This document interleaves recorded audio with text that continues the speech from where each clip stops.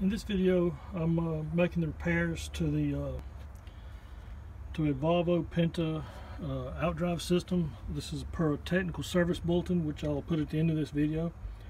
Um, the technical service bulletin basically says that you take out the flappers that would normally reside right here. The flappers have a pin that goes, see the hole there and the hole over here.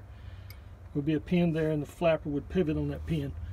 It's an offset pivot so that uh, as water backs up it, it slams the, or it, it closes the uh, flapper but the flapper normally hangs open.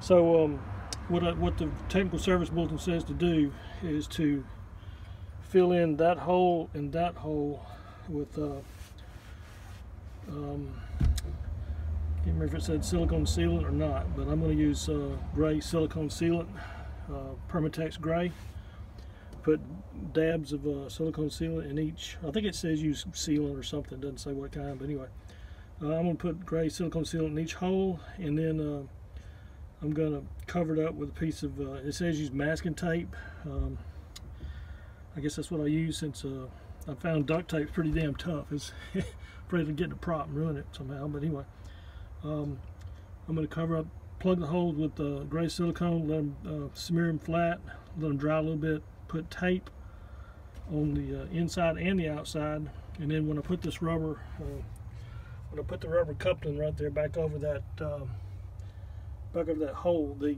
this uh, um, exhaust bellows, or it's not a bellows, exhaust uh, horn, or whatever you want to call it, goes back on, it'll uh, the rubber part will uh, seal up the outside.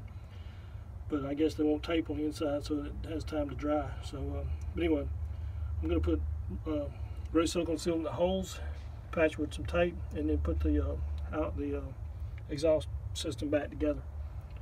Um, about to do that now. I'm not going to show actually smearing the, the sealed. I'll show you a picture or video after I get it smeared on there and the and maybe the tape in place.